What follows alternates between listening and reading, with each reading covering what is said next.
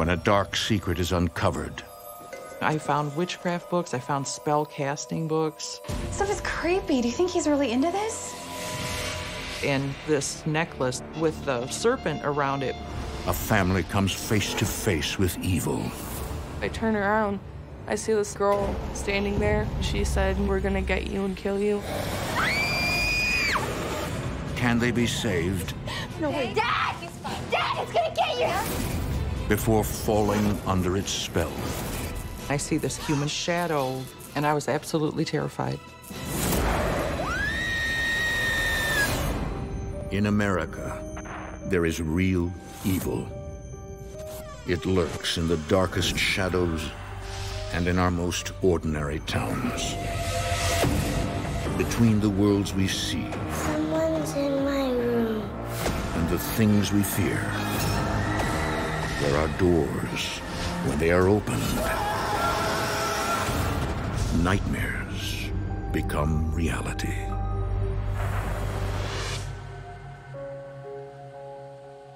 In March 2012, nursing home resident William Smith sits in a near catatonic state, oblivious to his surroundings. Hi, William. It's Amanda. When his relative Amanda Morrison comes for a visit, he doesn't appear to recognize her.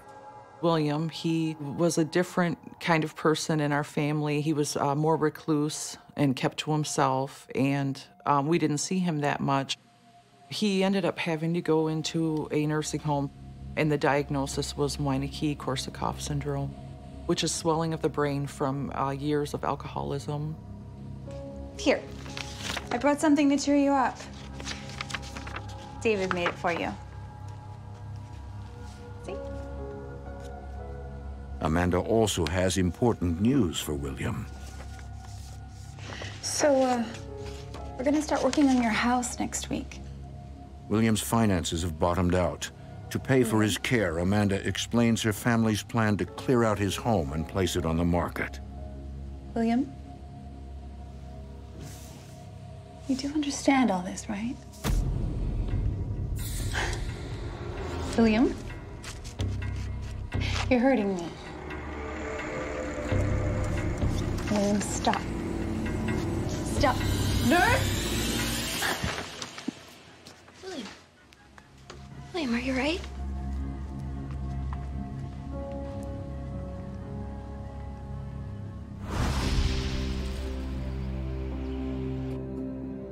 While William's reaction is alarming, Amanda is determined to help him. A few weeks later, she, along with her husband Nate and two children, get to work on his home.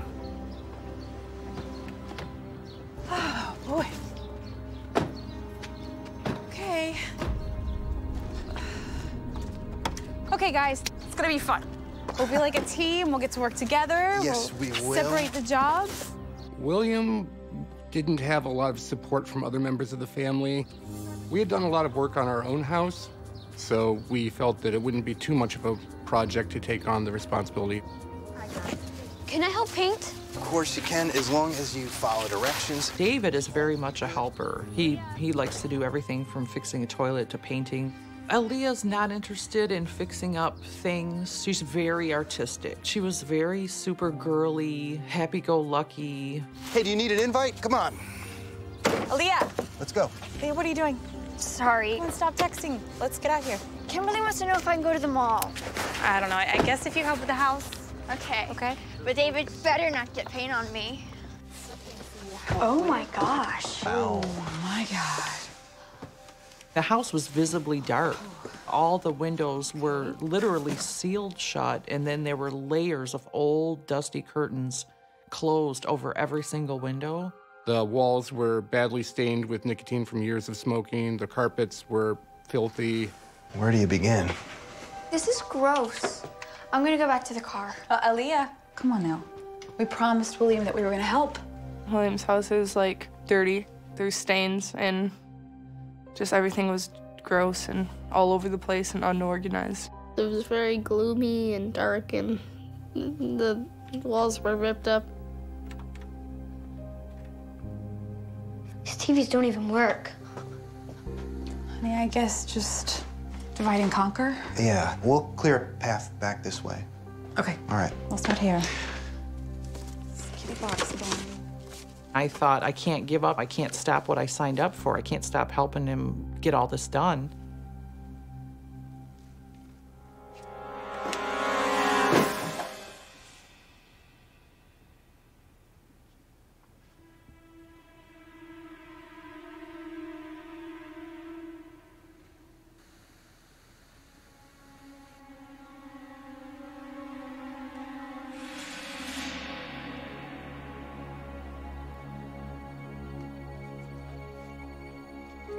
I went into one really large box and I found witchcraft books, I found spell casting books.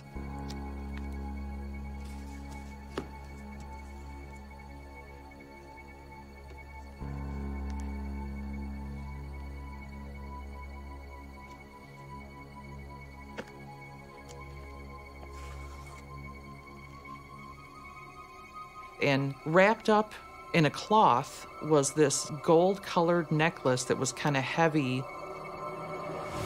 It was a, a staff with the serpent around it, but it wasn't the medical symbol. It was definitely bad and not good. Nate? Nate, can you come here? Nate? Hey, Hey. Nate, look, look, look at this stuff. Look at these books. This stuff is creepy. Do you think he's really into this? Or was? oh, you know what? Put it back in the box. Don't worry about it. No, what, what about this necklace? My husband's not like me. Everything's like logical. He thought it was a little bit weird, just hmm, but he didn't think much of it because he's real rational. It's been a long day. I'm gonna get the kids and we'll just call it quits, all right? I know that William was a strange sort of guy, but they're just books. William, Probably right. we're gonna call it quits, okay? Okay. All right. I'm gonna turn the lights out. All right. You gonna get David? David!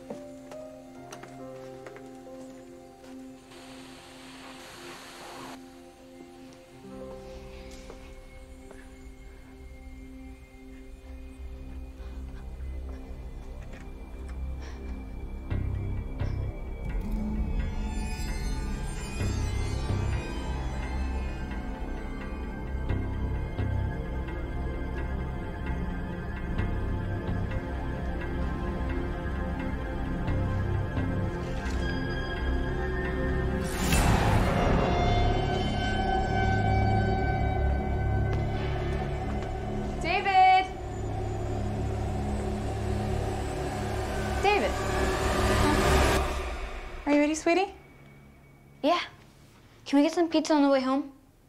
Sure.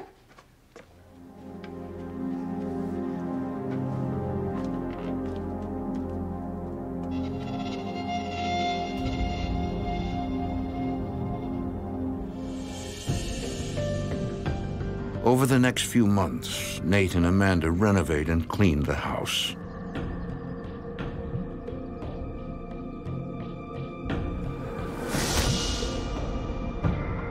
As it nears completion and is ready to be put up for sale, Amanda pays a visit to William. Hey, William. You're gonna be so excited. We're nearly finished the house. Look, I brought photos. The last time I went to visit William, I had brought photos of all the work that we did in an envelope, and I showed him how everything had been changed and how much better, you know, certain things looked. Look at this. Ta-da! Fresh paint. He was interested at first and kind of leaning forward and squinting and looking. I hope you don't mind, but some of this stuff did go to Goodwill. His whole face changed. Look at this, we cleared all of that out.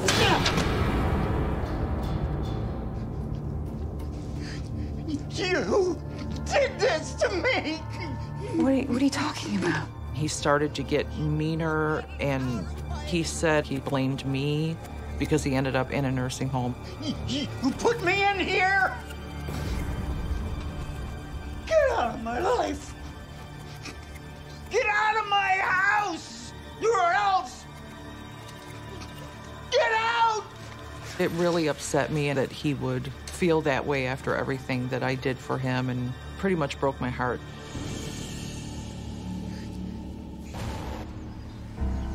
At Williams, Nate is putting the finishing touches on the house before it's put up for sale.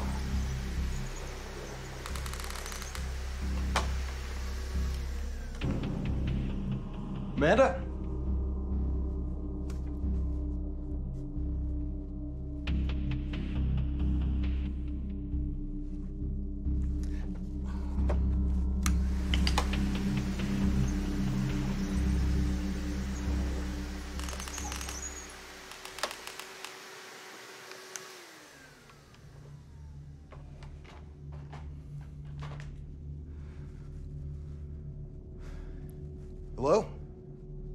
Amanda had left, and I was at William's house in the middle of the day.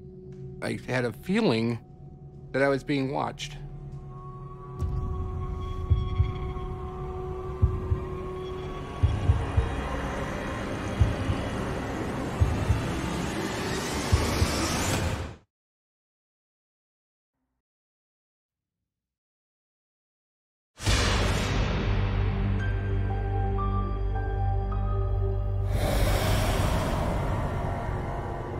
As Nate Morrison prepares to sell the home of his wife's ill relative, he can't shake the feeling he's not alone.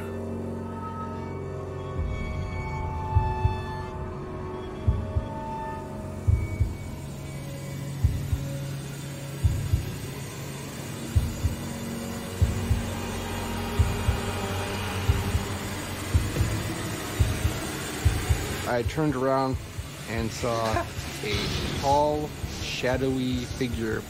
It looked like it was a human shape, only much taller and much darker. It was not friendly.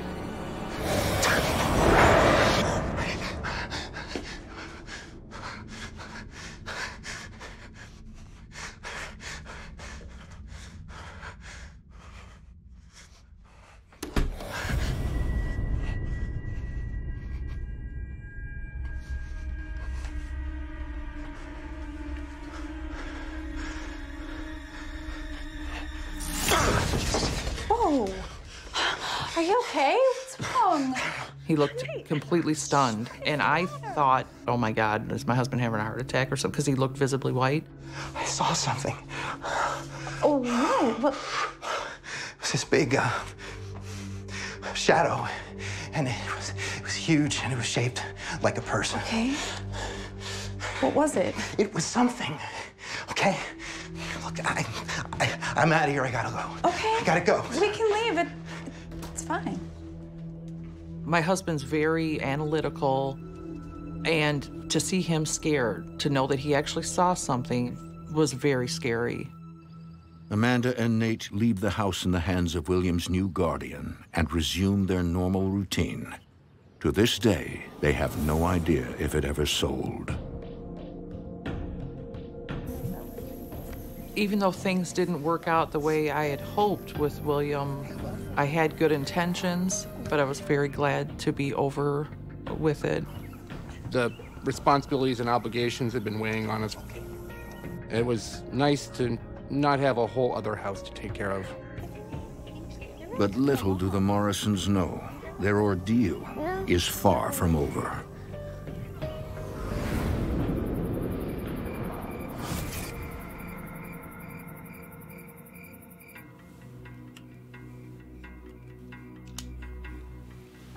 Eight-year-old David plays with a secret souvenir taken during William's house cleaning. I found this necklace with a snake around it. It had lots of scales. I thought it was really cool looking and I thought I could show my friends. I wanted to keep it to wear it to school. Hey. You still awake? Lights out, okay? It's a school night.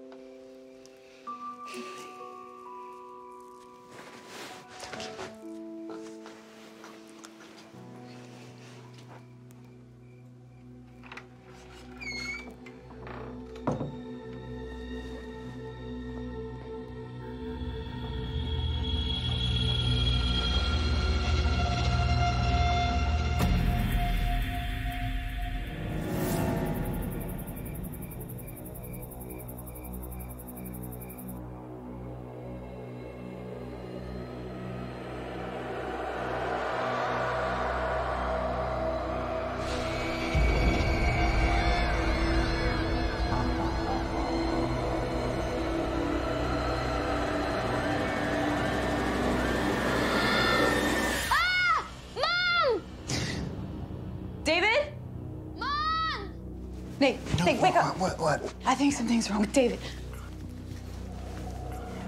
Sweetie? Mom! Was, What's it wrong? Was, Calm down. it was, Calm down. Calm down. it was, uh, He was crying or yelling, saying that he had a nightmare. I was very scared, but I can't really remember the details. I just knew that it felt very real to me. Sounds like it was just, just a bad dream. no, no, it was, I figured that if he wasn't remembering, it couldn't be that serious. And kids having nightmares is, is a fairly common thing.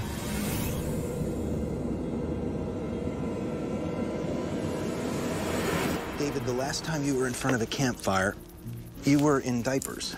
was I? That's right. Over the next few weeks, while the family deals with David's recurring nightmares, they begin to notice something else. His sister Aaliyah is growing withdrawn. Aaliyah was a very bubbly, social, butterfly kind of child, and she started to pull away a little bit. Leah, you gonna join us? Aaliyah. Can't you see that I'm busy? Whoa. God. Sorry. Just leave me alone. Ah. Aaliyah's parents are shocked by her behavior and hope it's temporary. We figured it was a phase that she would eventually move out of. But Aaliyah's anxiety only grows worse.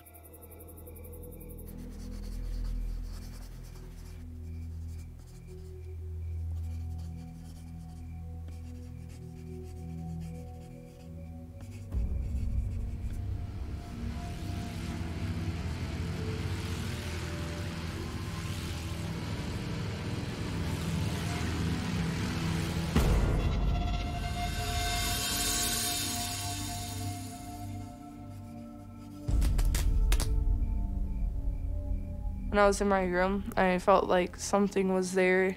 Felt like I was being watched.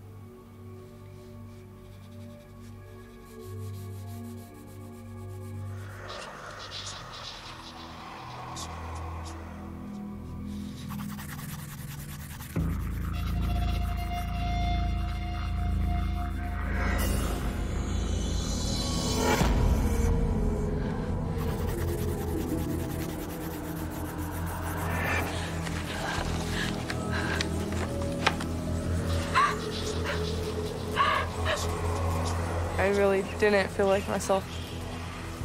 Something in my brain was telling me all this crazy stuff that I usually would never do.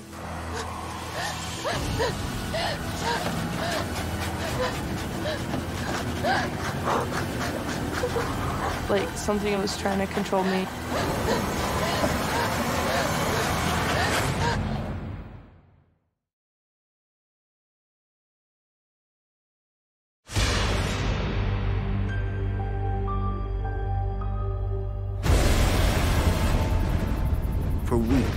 Weeks, Amanda Morrison has been worried about her 12-year-old daughter, Aaliyah. Leah. Sweetie, it's time to get up, okay? It's time for school. Leah? Leah?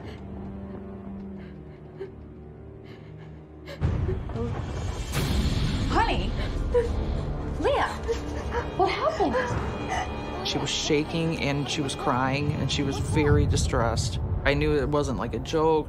She was like really, truly scared.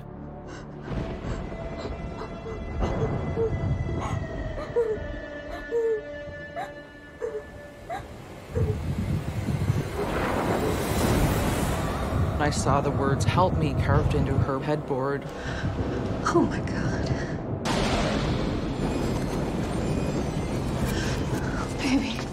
She started crying and she says, I don't even know why that just happened. It was like she blacked out. It's gonna be okay, all right? We started to become more concerned that this was a more serious, major depression that she was going through. All right? Come on. Come on. Doctor, we're scared. Her parents meet with a psychiatrist who confirms Aaliyah is suffering from depression. This should help. She'll take this twice a day, and hopefully in a month or so, we should see a significant improvement. To have a child who's dealing with depression or some kind of affliction like this, it makes you feel completely powerless. Everything's gonna be okay. It was hard when my mom and dad and my brother were worried about me because I felt like I was a bad person for making anyone upset. Get through this, I promise. In the months that follow, the family focuses their love and attention on Aaliyah. Oh, I got it. I think it looks nice. Yeah. You like it? Mm-hmm. The room has a lot more color. It Makes a big difference. Brighten things up a little bit. Since Aaliyah was feeling uncomfortable in her room and to give her a feeling of a fresh start, I decided I'm gonna go buy some supplies and I'm gonna change around her room. Now, if we could just get you to pick up your room. It's not dirty. It's just organized differently, Mom. Oh, It's fine. I like everything where it is. Aaliyah. Did you take this? No, what is it? David! David, get in here right now! Yes? David, did you take this from William's house? I thought it was cool. Cool? You don't take things that don't belong to you. I've told you this. I'm sorry. As a mom, I was kind of upset that David would go into the boxes and just start like rifling through things that weren't his. I didn't think much of it. I decided to get rid of it.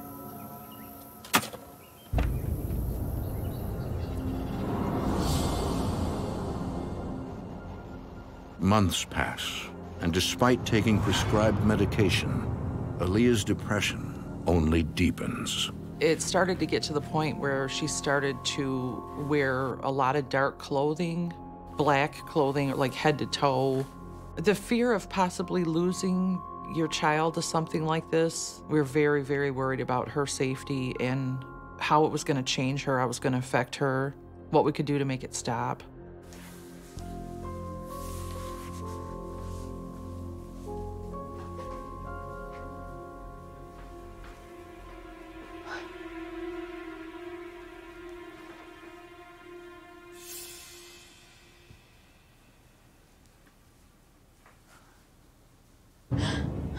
I felt like I was trapped from my depression.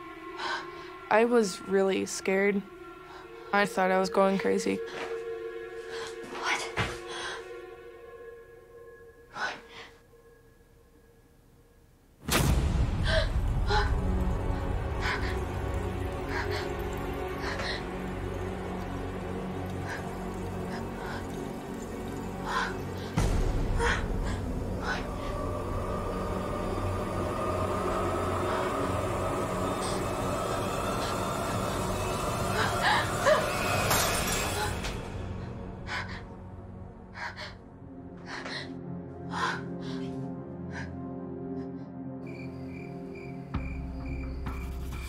No way out, Aaliyah becomes a prisoner of her dark thoughts.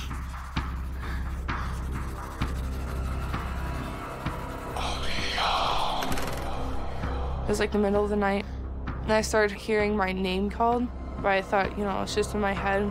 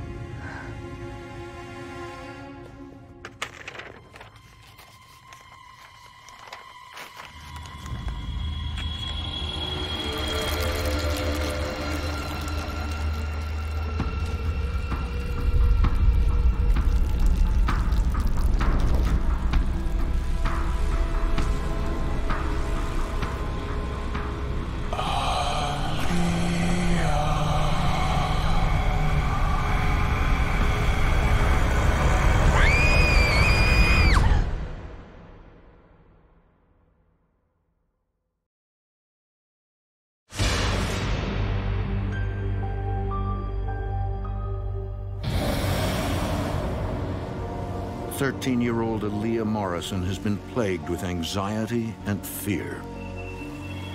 I felt like a lot angrier, so I didn't talk to anyone. I just wanted to do nothing and just stay in my house. I thought I was going crazy. An evil force appears to be controlling her thoughts.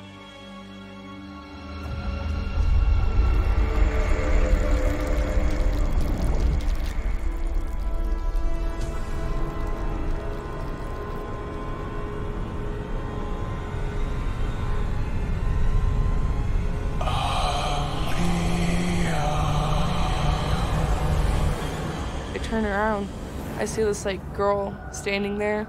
She had black hair that was kind of covering her face. She was saying like, "We're gonna get you and kill you."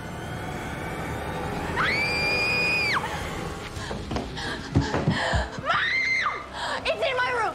I saw it. Please, you can't let it get me. It's coming to get me. Mom, please don't let it get me. What, what is it? What did you see? Aaliyah came into the family room crying. She said there was a black shadow that rose up out of my floor and was right in front of my bed and it said my name. She was really, truly scared. Where's your brother? David, David. What's going on? Come here, come here, come here. Sit with, sit with your mom. Here. Is she okay? Dad! He's fine. Dad, it's gonna get you. Yeah? Okay.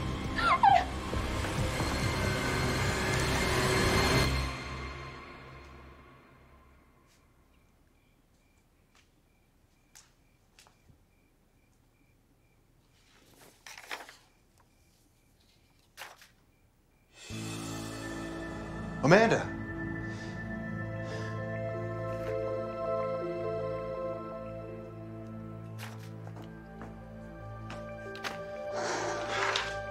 What is all this? Come here. Look at this.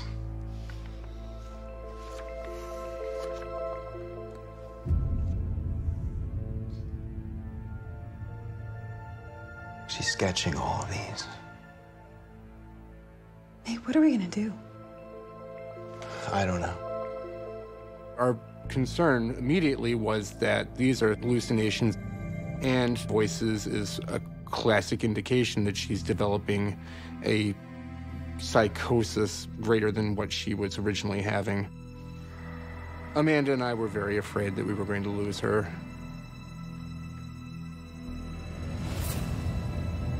The family takes Aaliyah back to the psychiatrist. I've talked to Aaliyah for several hours, and I've determined that she does not have any type of schizophrenia or delusion. He was convinced that this was not a development of a new mental illness, but something that he couldn't explain. I do think that we should change her medicine as her depression is still severe. Then what is she seeing? I don't know, but I can tell you, she believes that she's seeing something in her room, and her fear is very real. This was not a figment of her imagination or the product of an illness, but was an actual physical manifestation that she was seeing, and her fear was real.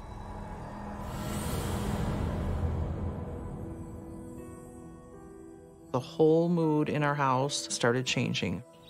It was taking away our peace, and the amount of stress quadrupled. We did feel as parents that we were failing at times. We were doing everything that we could to help her and support her. It was putting a lot of wear and tear on our marriage, our family life. It wasn't a very good time.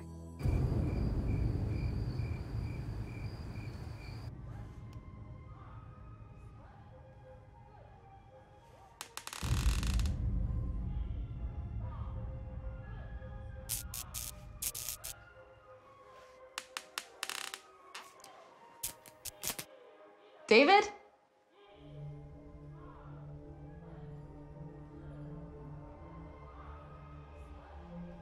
David?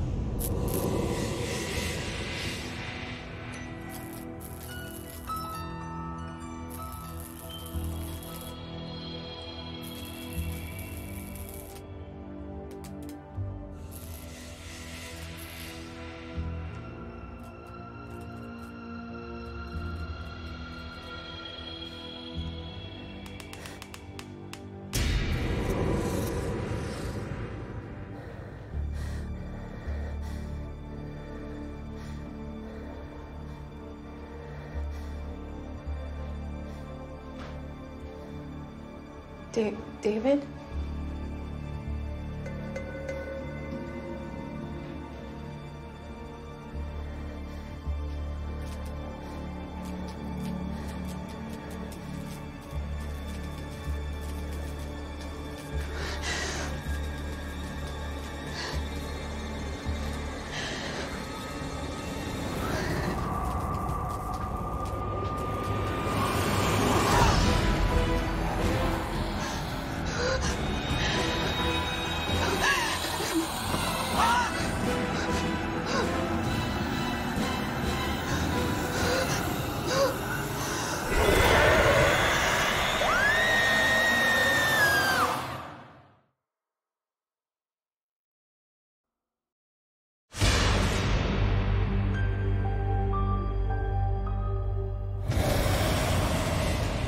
Months, Amanda Morrison didn't know what to believe when her husband and daughter claimed they were seeing an unexplainable, terrifying entity. Until now.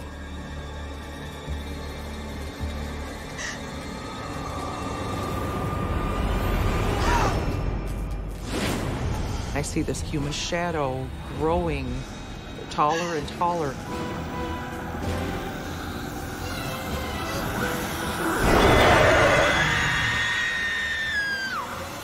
I was absolutely terrified. Baby, baby. Wait, wait, babe, it's real. It's okay. It's real. I saw it. I saw that thing. The, the thing that you saw. What? I saw that shadow. The, the thing that it's here. It's real. My rational mind said, it can't possibly be that. My rational mind didn't let me accept this immediately. The things that my family had been experiencing weren't separate, they were all connected to this dark energy. That was like a time changing moment right there. We really need to figure out what is going on. Not knowing where to turn, Amanda searches for someone who can perform a house blessing. She finds Samantha Harris of the Michigan Paranormal Research Association. I'm a demonologist, published author, and a paranormal investigator. Intuitively, I was picking up on a lot of heaviness. There was a lot of negativity in the home. It was really obvious that the Morrison family was experiencing some sort of strains and stressors in their family life.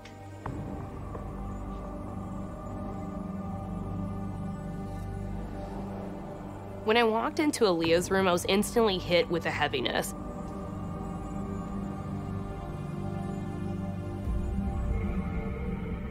I could sense it very clearly that some sort of demonic or negative entity is actually in the room with me.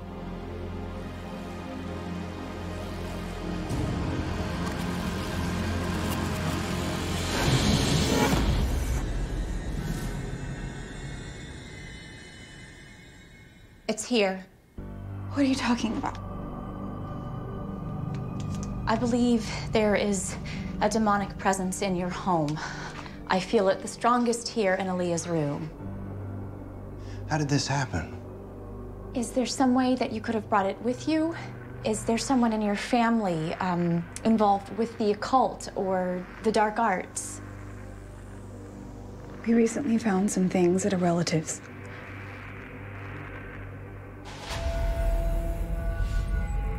The more Amanda tells Samantha about the books and objects she uncovered inside her relative's home, the more convinced Samantha becomes that William was involved in satanic rituals.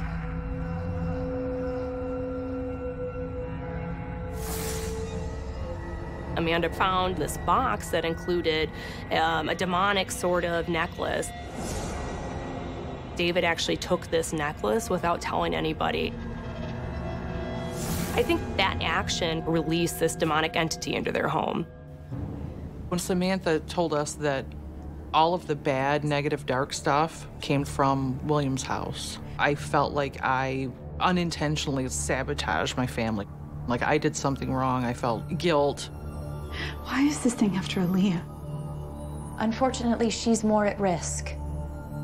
It's really common for demonic entities to focus and target actually adolescents. Aaliyah is a perfect prime target. Basically, it's because of their energy. They're at a spiritual crossroads. This demonic entity really targeted her and I think was trying to will her to the dark side. We need to do a blessing immediately. Okay. At this point, it was our last option, it was our last resort. Okay, we're going to pray now, and you can join in as you feel comfortable. And the only thing that's important is that you remain focused, okay? Okay. Okay. Samantha got everybody involved. It was a family activity to cleanse the house. Heavenly Spirit, I bow in praise and worship before you. I claim the protection of the light for my family, my finances, my home, my spirit, soul, and body. I surrender myself completely in every area of my life to you. I take a stand against all the workings of darkness and negativity. It really felt like my family and I were fighting to reclaim the house, and the prayer was a battle cry. Heavenly Spirit, I bow in worship and praise before you. I cover myself with the white light and protection of God. I looked up, and the light above our table was flickering. My finances, my home, my spirit, my soul and body. Leo was kind of having a difficult time concentrating on this prayer and starting to feel ill. In every area of my life to you. I take a stand against all forces of darkness and negativity. As we were saying the prayer, I felt like the demons telling me, like, don't say it, don't get rid of me. Heavenly Spirit, I bow in worship. The demonic entity was trying to distract her or to claim her back. I cover myself with the white light and protection of God. I claim the protection of the light for my family, my finances, my home, my spirit, my soul and body. I cover myself completely in every area of my life to you.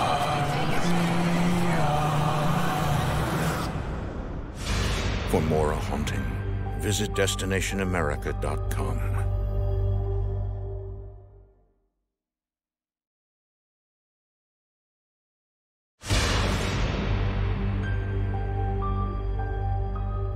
Surrender myself completely in every area of my life to you. The Morrison family is attempting to spiritually clean their house of a demon that is after their 13 year old daughter, Aaliyah. I claim the protection of the light for my family, my finances, my home, my spirit, my soul and body. We knew that something was trying to get to Aaliyah and take control of her, and we were terrified. I command it to leave. Heavenly Spirit, I bow in worship and praise before you. I cover myself with the white light against all the workings of darkness and negativity. Keep going. I cover myself with the white. Paranormal investigator Samantha Harris urges Aaliyah to stay strong. Aaliyah! Pray with me! Aaliyah! Worship and praise Come back. But the demon keeps beckoning her to the dark side. The demonic entity was affecting Aaliyah kind of as its last chance to try to claim her back or to somehow have power over her.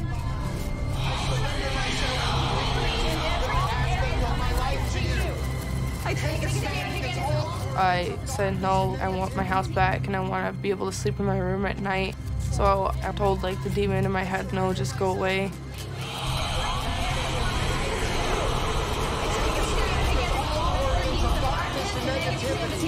I cover myself with the white light and the protection of God. I destroy all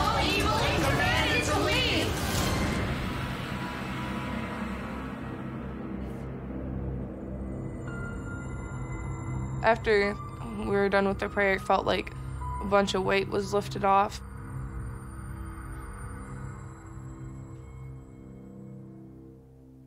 It's gone. I don't feel it anymore. Mom, it's gone. When the house cleansing was done, there was just a brighter feel, almost like like we had cleaned the windows and more sunlight was coming in. We were all just kind of happier. It really did seem to to make a difference right away. Thank you so much. You gave me my family back. That's the moment that I felt like I got her back.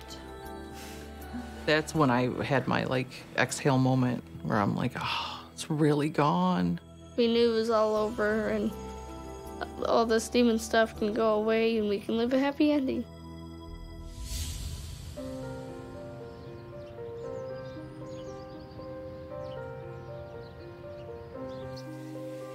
Okay, um, who, it's your turn. To the left. Okay. Uh-huh. That's some no. reaction. Oh, I thought he won. I thought it was over right there. We haven't had any paranormal experiences since the house cleansing. okay, so it's my turn. Do you have any aces? No, I don't. Go fish. It feels much more peaceful. David said that his nightmares have stopped. Okay, uh, ace, please. Yeah. oh, he's Thank been you. waiting for that one. Yeah. My uh-huh. wife was happy now. Everything's good and back to normal. Mom, do you have a queen? Aaliyah is sleeping much better. She's sleeping in her room. She's not waking up and crying. I don't think I'll ever get over the experience. I think it's probably changed all of us. And to be scared of something like that, that you have no control over, you don't know what to do in that moment.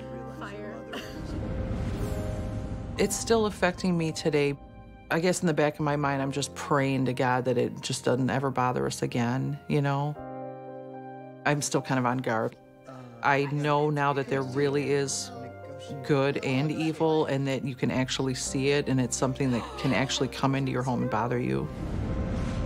Before all this happened, I didn't really believe in like demons or ghosts. Now I believe that if you let them, they'll just make your life miserable. You two are ganging up. Dog eat dog world. As for William, whose dealing with black magic is believed to have conjured the demon in the first place, the Morrisons never saw him again. Probably because it's his last one. It looks like like something suspicious is happening right there. Ah, but you know, I can see right through that card. Can you? I can. I know. it. Aaliyah? Aaliyah? Sweetie? Are you okay? Yeah. Yeah. Yeah, I'm, f- I'm fine. It's just something you can't really get over, forget. It'll still always be there.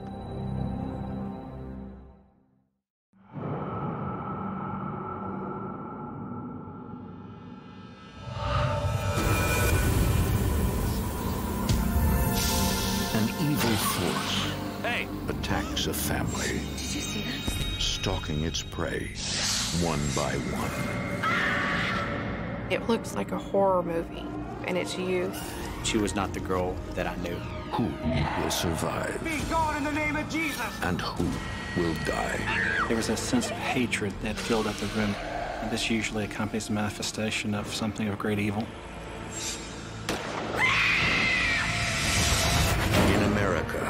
There is real evil.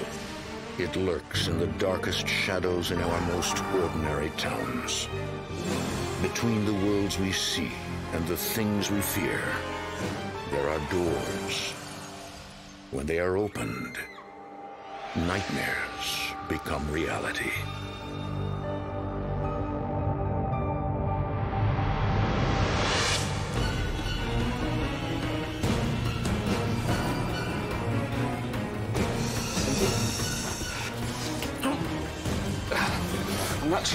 Hurt you.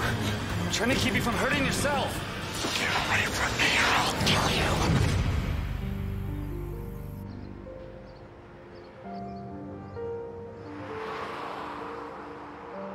The year is 2010. For Cindy Sauer, Social Circle, Georgia has always held a special place in her heart.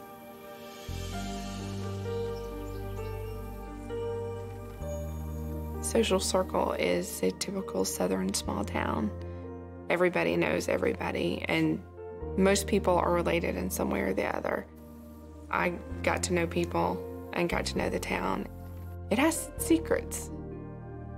Recently, Cindy's husband, Jim, tragically passed away, leaving her to raise their teenage daughter, Chastity. Hey, let me help you with that. Thanks, babe. I got fresh peaches to make your favorite cobbler. You know that was Dad's favorite. Yeah, I know. When I found out my dad died, I didn't know what to do because he was my best friend.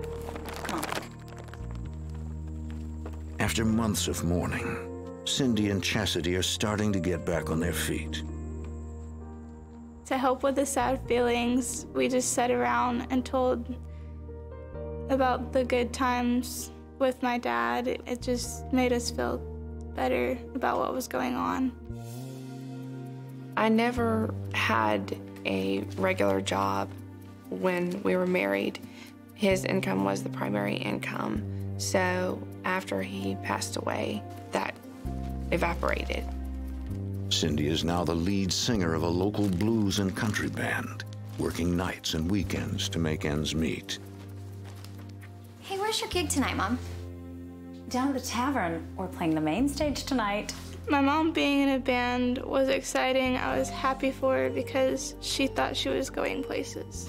I loved going to see her perform. Can I come? Sorry, sweetie. Not until you're 21. Being in the band was everything I'd always thought it would be. It was exciting to be the front man. I think that's probably the first time that I felt like I was in my element, like I belonged. Do you mind grabbing the rest of the groceries from the car? Sure, Mom. I had just gotten back from running some errands.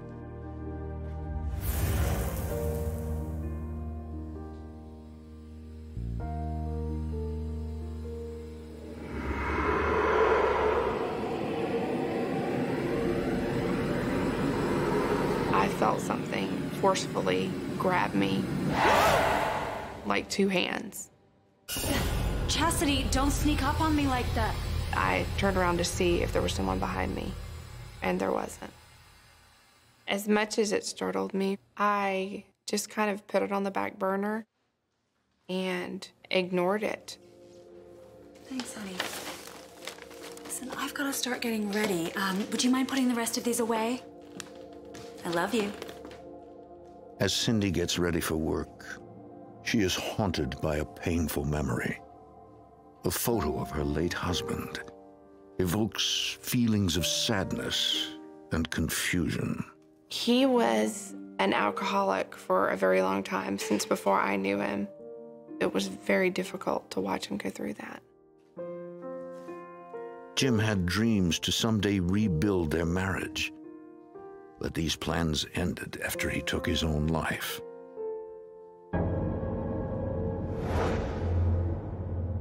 You always look for answers when someone commits suicide.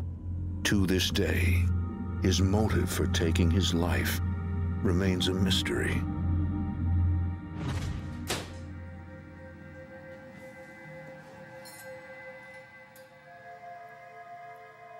I looked up,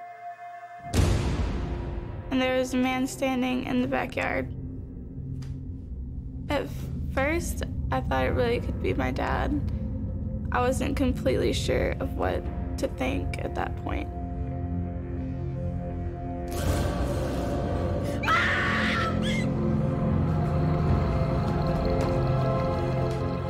What's wrong? Are you hurt? It took me a second to gather myself to tell her what happened. He was there. I saw him. Who, Chastity? Who was there? Dad, he, he was out by the shed. It was scary because I knew my father was dead. I felt it couldn't be him, and just it brought back the memories of our relationship. Honey, are you sure? It was probably a neighbor. I swear it was him. He just looked different. She's a pretty stoic person. So for something to affect her like that, it has to be significant. Okay, I'll take a look. To put her daughter's mind at ease, Cindy checks out the backyard. Hello? I was hoping that maybe she had imagined it Somebody there? and she just saw something that looked like him. I just looked around Hello? to try to see if I could see what she had told me about, and I didn't see anything. I went out to the shed.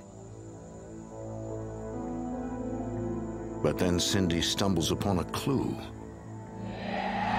A lug nut from her husband's tool shed. He was a mechanic. I can't tell you how many times I helped him change a tire or work on a car, and that lug nut was one that he left out there.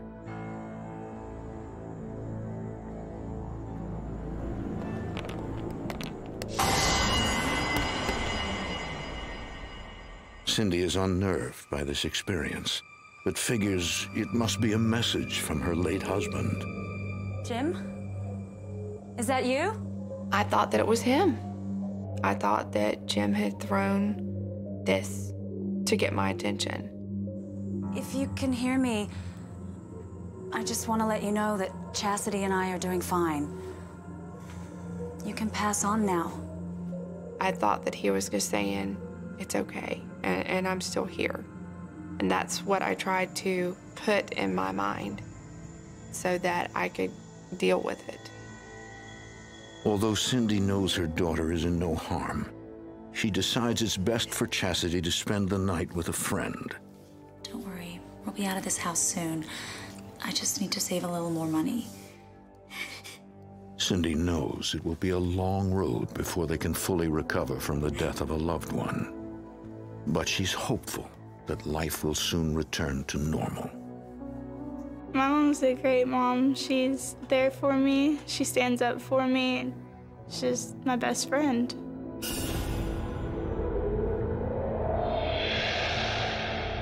Over the next several months, life is finally starting to turn around. Cindy has started dating again. After meeting Jason Britt, a former pastor, she's confident that he's the one. She really wasn't looking for anybody at all.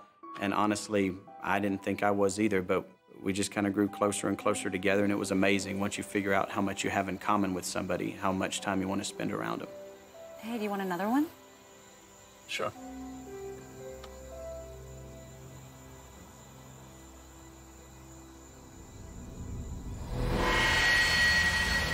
Hey! Who's there? At first, I honestly thought somebody had come up into the yard, and I, I was thinking, who is over there by the shed? And then when I noticed there was nothing there, I knew something odd had happened. Hey, who were you yelling at? Thought I saw someone snooping around your backyard. Really? Maybe it was just a shadow or something. Why don't we go inside?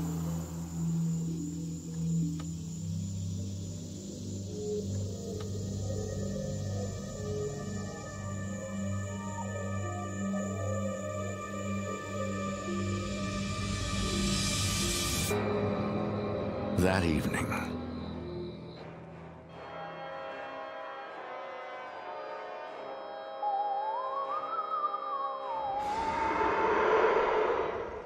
What was that? It's just the movie. No, wait, wait a minute. Turn it down for a second. Listen, did you hear that? It sounds like your air conditioner or something. At this hour? Who could that be? Stay put. Let me answer it.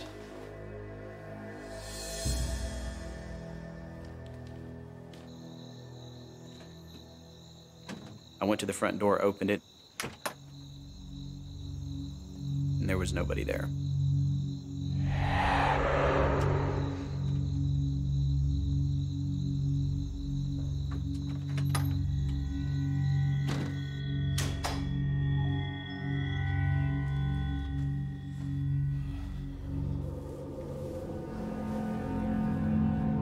Was there. Listen. Do you believe in the supernatural? Why? You think it was a ghost? I've been seeing some weird things lately. Chastity, too.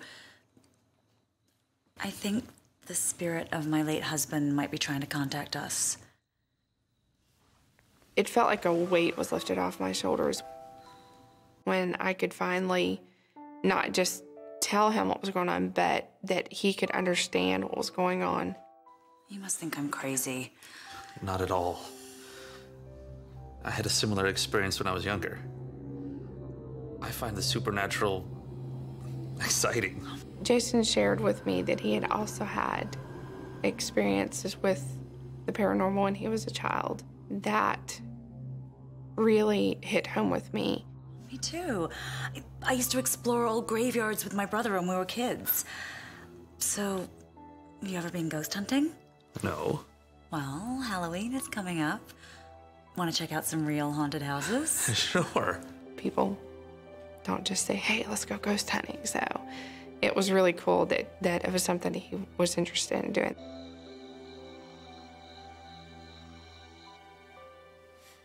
Later that night, Chastity has a terrifying nightmare about her father's suicide. He was sitting on the edge of his bed, crying. I could hear it. It felt real. And then it just kind of appeared. It was evil. It was there to harm.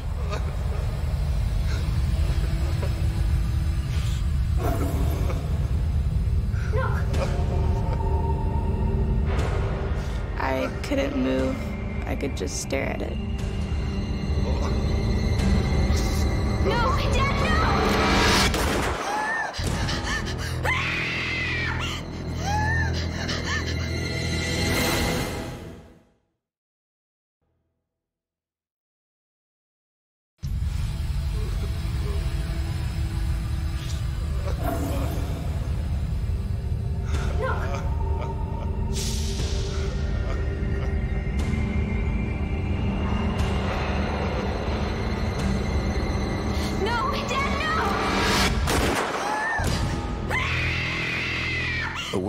A terrifying nightmare, Chastity now believes that her father did not simply kill himself. It's okay, Chastity, it's okay. It was just a bad dream, honey. No, um, no, it wasn't. It, it was real. What was it? It was, um, this, this dark, this dark figure, like a, a dark, a dark man. It was there when Dad killed himself.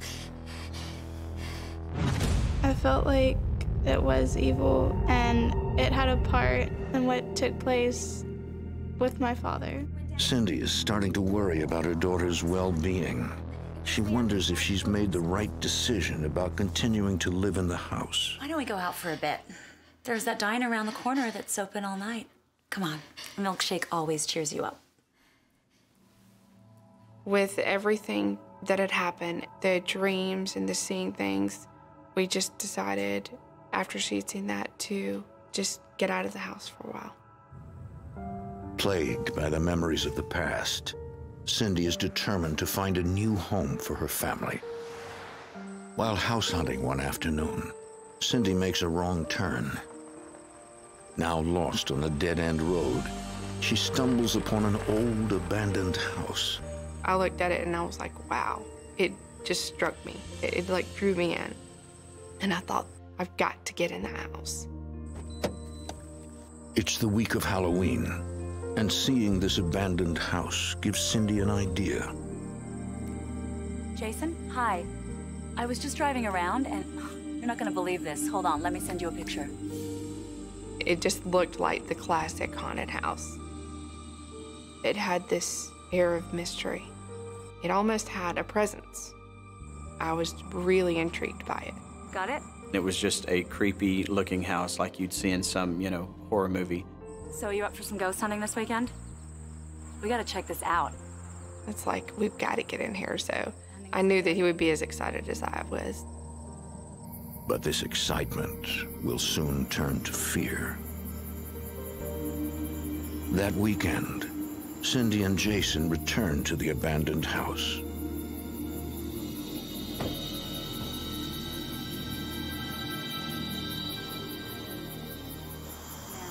Super creepy. Hold on. Armed with a camera and an audio recorder, All right. they hope to collect evidence of paranormal activity. Ready? Are you freaking out? No. All right. All right. Let's do this.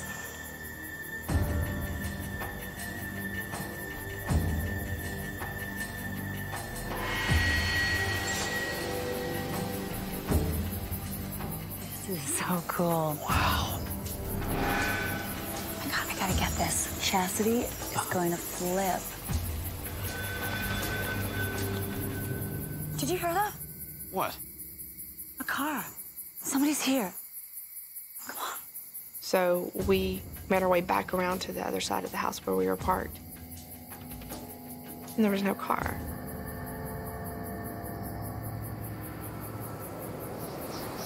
It was making noises all around. Small branches, bushes, they, they were all just moving. Everything was moving. I was shaking, my, my teeth were chattering, I was cold, and I just wanted in the car. Did you see that? Oh, yeah. What is that? Started seeing something just out of my peripheral vision, and he saw it too, just kind of darting around. It felt like it was all around us, and there was no getting away, like being trapped. It felt exactly like something was going to pounce. Into the car. Now. And that thing just came straight at me. You, you could just feel it, just like it was like a train. Cindy? I got in the car and he got in and we took off.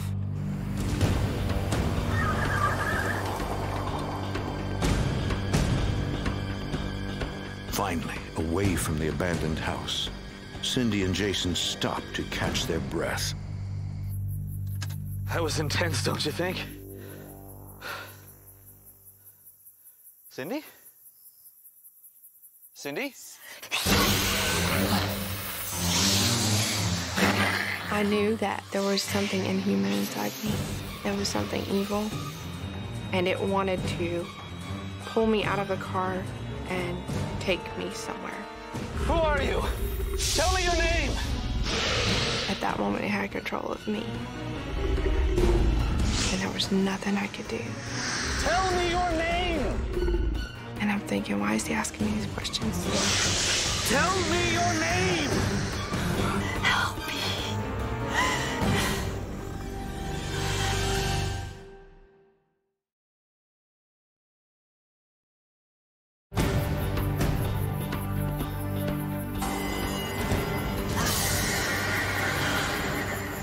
After a spiritual attack, Jason relies on prayer to save Cindy's life. Pray, Cindy. You have got to pray. Lord Jesus. Come on, say it. Lord Jesus. And I was just trying to say Jesus, and I couldn't say it. And I fought. I don't know how long it took me.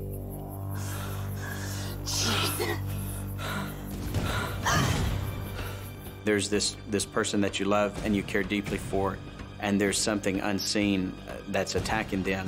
You feel powerless. It's enough to kind of drive you mad. Finally, the power of prayer releases Cindy. At that point, I didn't realize the extent of it. It's okay. You're gonna be okay. I just thought that we had come across something that was really bad and that it had chased us down. Promise me. We'll never go back there again. Agree. We made a pact after that night to never go back to that house and to stay as far away from it as we could. That next day was very hazy. I was really drained. It was almost like I was just kind of floating by. Slowly, Cindy's demeanor begins to change. Mom? Once a caring and sweet mother, Mom. Cindy is now hostile Mom. and irritable. What? Take a chill pill, Mom. I just wanted to see if I could have some money so I could go to the movies with Steven. I don't care what you do. My mom started changing. She went from the quiet, tender, nice mom to a very irritable, angry, depressing person. Just get out of here! Now! It was not at all like me to have these bouts of rage. And I knew that this was just not coming from me. She would yell and scream and say hurtful things. It was just like what I've seen with my father. Cindy knows that someone or something is controlling her mind, but she is powerless to stop it. To ease her fears, Cindy asks Jason to spend the night. Well, there's the North Star there. She's safe for now, Right but there. not for long. See the Little Dipper? It's just at the end of the handle.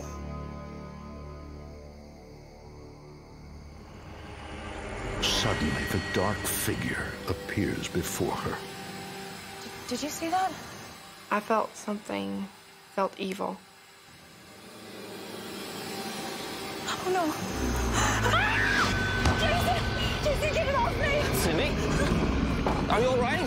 Whatever came over there knocked her backward. She hit with such force on the back of her head, I thought she's gonna have a concussion. Are you all right?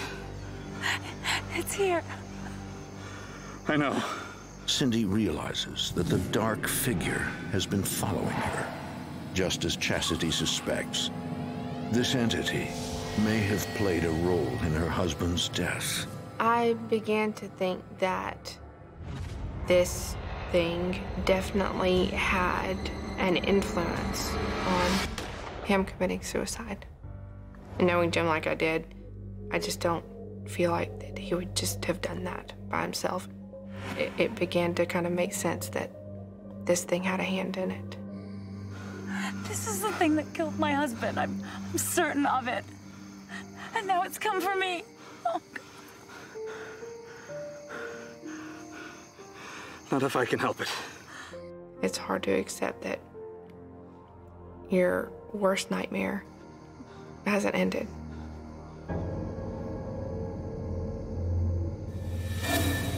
That night, Cindy and Jason discuss the recent attack.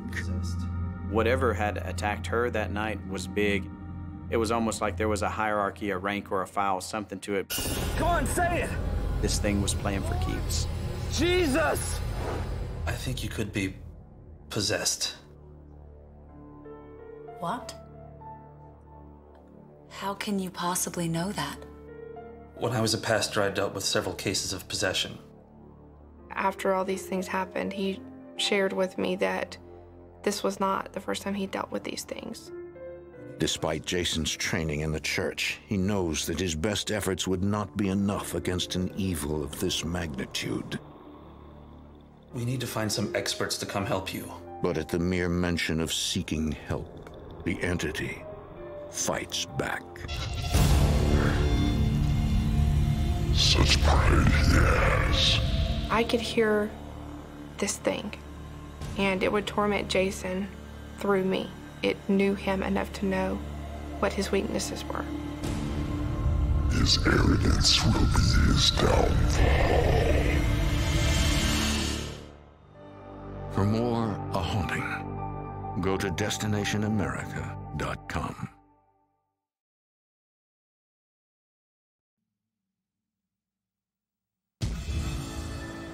Fearing that her family is in danger, Cindy contacts Roswell, Georgia Paranormal Investigations.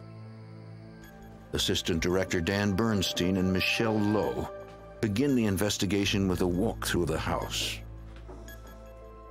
I'm a lead investigator, but I'm also one of the psychic or sensitives in the group. When I first walked in the house, it just seemed a little darker. It was not like other investigations that we've done in the past. As Michelle approaches the bedroom, she suddenly feels uneasy. Then, Dan notices a spiking on the EMF meter, suggesting he is in the presence of spiritual activity. I immediately felt her husband who committed suicide. I felt his presence very strongly, almost like he was guarding. But guarding what? They hope to find answers as to why this entity is tormenting them. After the walkthrough, the team begins their investigation with an EVP session. Is anyone here? Make a noise if you are present. But then, A familiar sound chills Cindy to the bone. Did you hear something? That was when things started to escalate. I knew that it was there. I felt it. Do you know this is not your house? This is Cindy's house. And as soon as he asked that question, it attacked me. Are you okay, Cindy? I was scared because I couldn't do anything. I couldn't help her. I knew she was being taken over at that point. It was terrifying. It was nothing I've ever seen before. It was pure hate. It was not Cindy anymore. Cindy is once again possessed. The entity inside of her has taken control of her body, bent on destroying anything in its path.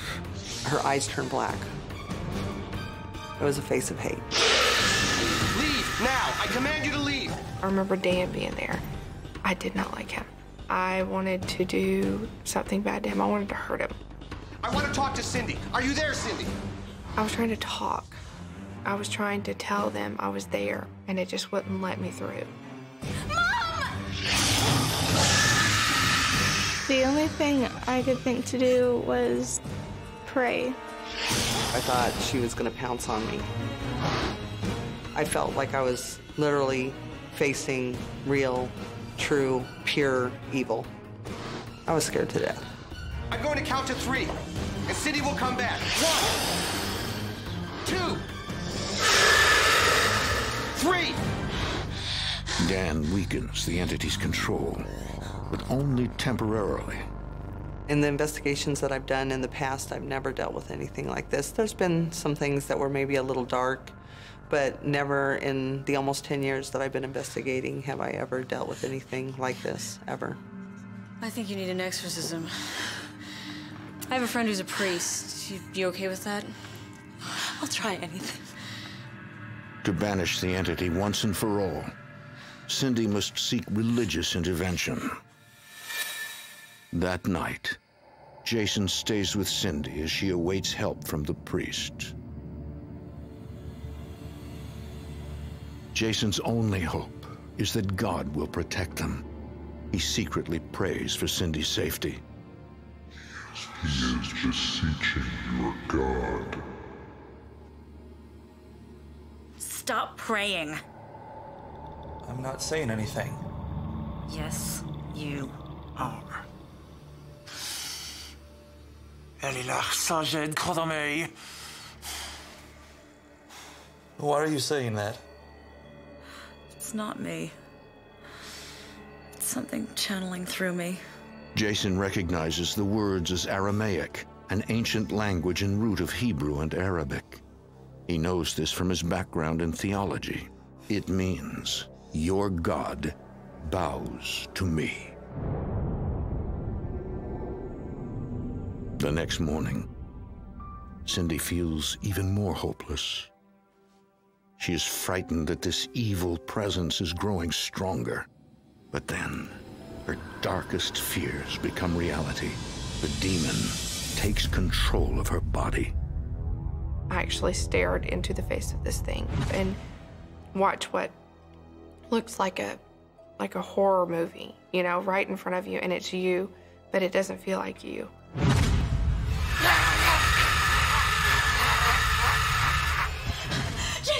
Cindy! Cindy! Holy Father, I ask that you protect Cindy from this evil. Our Father, who art in heaven, hallowed be thy name. Thy kingdom come, thy will be done, on earth as it is in heaven. As Jason begins to pray, suddenly the entity lets go. It's just... Oh, it's gonna be okay. The priest will be here soon. But not soon enough. Want to do this. Please don't make me do this. Baby, they're coming here to help you. Oh, don't move, they're here. Can you sit here while I do this? Okay. As she nervously awaits the priest's arrival, the demon continues to grow stronger. It wanted to cut me open. I remember it wanted to cut my leg open and just dig in. and just see what was in there. Just like a like a toy. But Cindy doesn't have time to hurt herself. The team is just outside. Michelle is accompanied by her colleagues, Reverend Darren Simpson and Claudia Lee. Our director and lead investigator. Well, thank you for coming. Cindy's inside. She's a bit nervous about the exorcism. That's to be expected. It's a demon trying to fight back, keep us away. Best thing is to keep her calm. The evidence that Michelle had gathered was so good that I was able to take that evidence to my bishop, my presiding bishop, and he was able to make a judgment and give me permission to go and perform an exorcism. Michelle can already tell that something is wrong. She senses the presence of evil. It was conveyed to me if you go back in the house, you will regret it. And so that weighed heavily on me the whole week before we went back.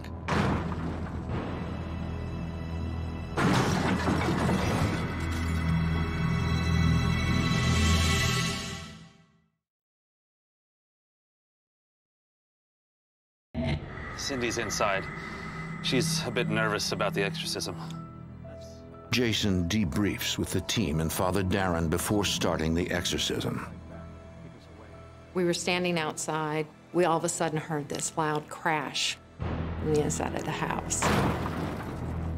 At that moment, we just knew we were in for it.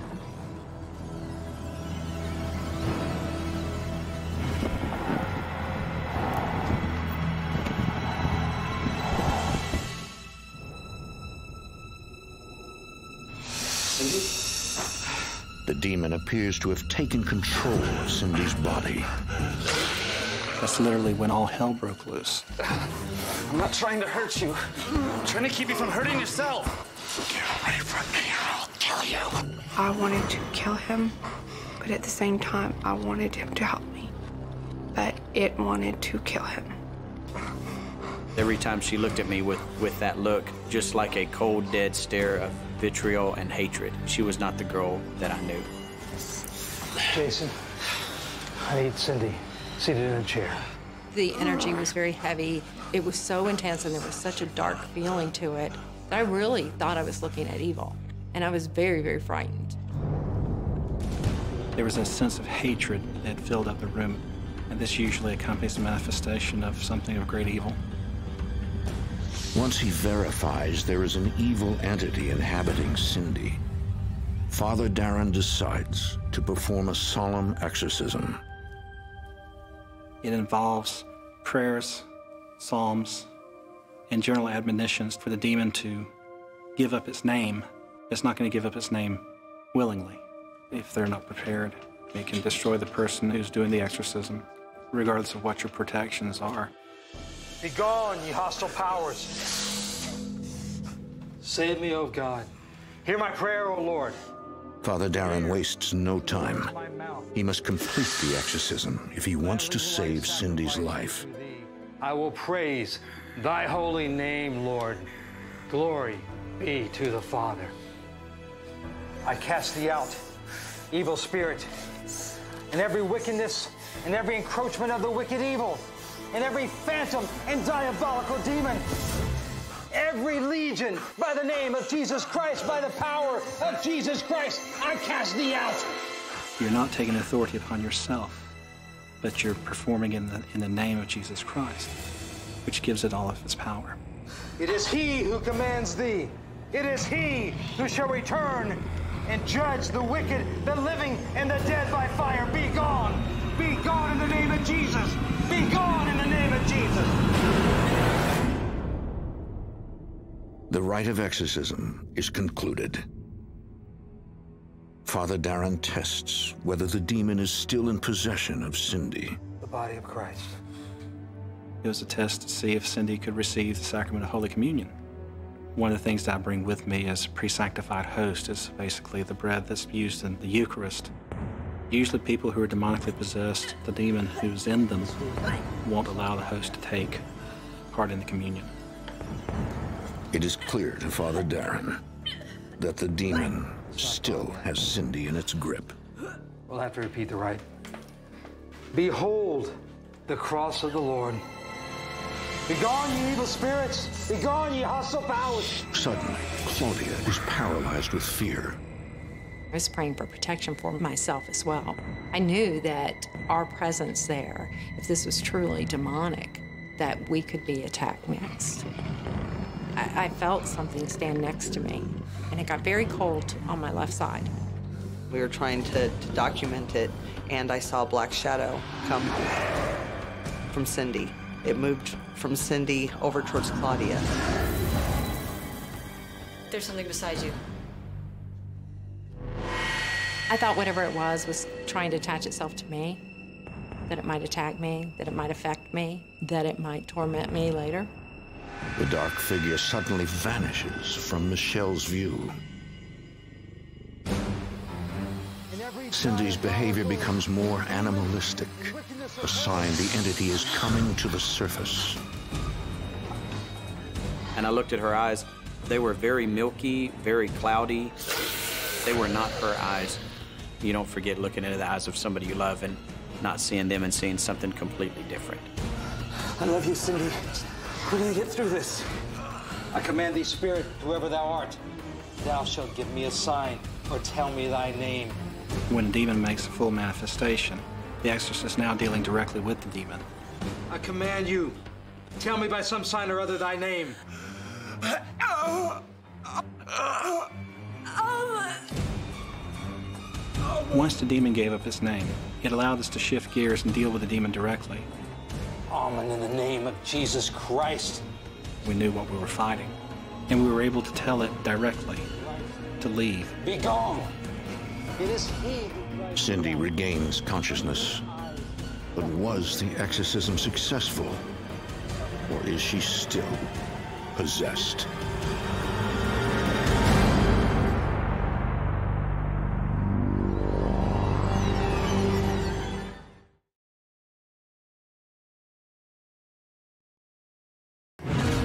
Cindy.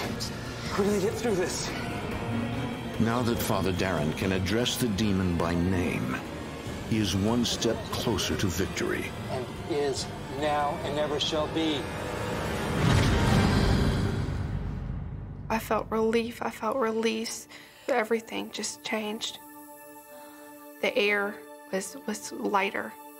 The house was brighter. It's like I woke up and, and I looked around and saw all these people. You could feel just the presence of God. I felt for the first time in a very long time like there was not something behind me. Following the exorcism, Father Darren counsels Cindy. He offers her words of hope, but warns her that the demon could return. It all depends on the behavior, the emotive living, the prayer and faith life of the person involved. I believe this demon came into your life after your husband's passing and weakened you psychologically just as it did him. You have to be very aware and very diligent, especially when, when you have psychological scars, because they can open you up to these evil things. If you ever need any help, I'm here, no matter what. Anytime, day or night, just call me. If I hadn't had Father Darren come and perform the exorcism, there's no way that I would have been able to fight this thing. And I really don't know what would have happened or where I would have ended up if RGPI and Father Darren hadn't stepped in and given me the help that I needed.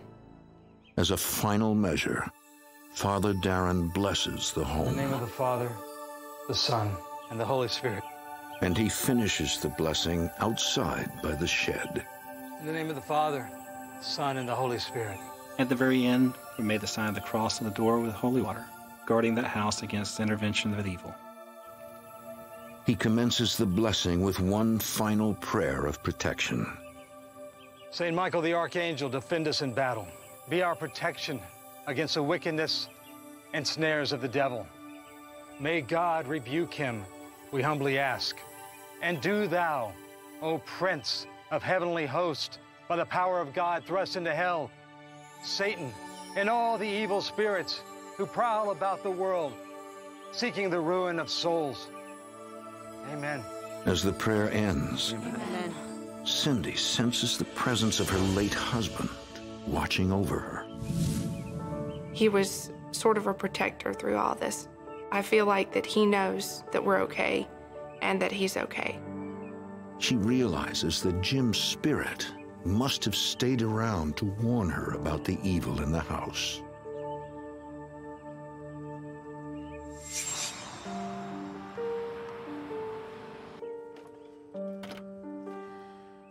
The house is brighter after the exorcism, but it still reminds Cindy of her past. Believing they will never find peace there, she decides it's time to move on. It was a new life. It was completely starting over. It was in a beginning. We were finally able to have our lives separate from our old life. Chastity still has nightmares about her father's death, Well, that's the last of it. but she no longer fears them. After the exorcism, it felt like a weight has been lifted off. I felt like I had my mom back. I felt like everything was going to be okay. Cindy isn't completely free from the demons of her past. But at least now, she knows how to deal with them. Jason was there to tell me that I was going to get through this. That made me realize that there, there was a light at the end of, of all this, that I can fight this, that I'm not alone, and it helps to have people in your corner. That's it. Ready? すいません。